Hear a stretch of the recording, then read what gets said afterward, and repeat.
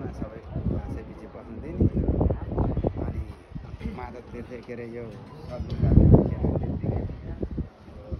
जात्राहरू आउने त्यत्तिकै एक सय एकानब्बे दिन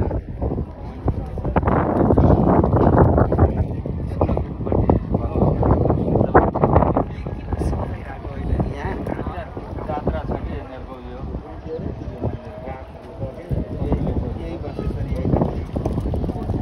उयो तोरण ल्याएको नि रातो पुलबाट ओर्लिनु। हो, त्यो पाइपले अहिले सफा गर्दैछ त्यो मन्दिरको जात्रा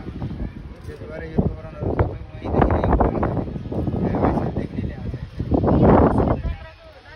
बिस्किट जात्रा होइन बसलेश्वरी भनेर त्यो भक्तपुरको हो यहाँ चाहिँ यहाँ गङ्गामाई जात्रा हुन्छ बसलेश्वरी जात्रा हुन्छ त्यसपछि बसलेश्वरी पनि छुट्टै हुन्छ फेरि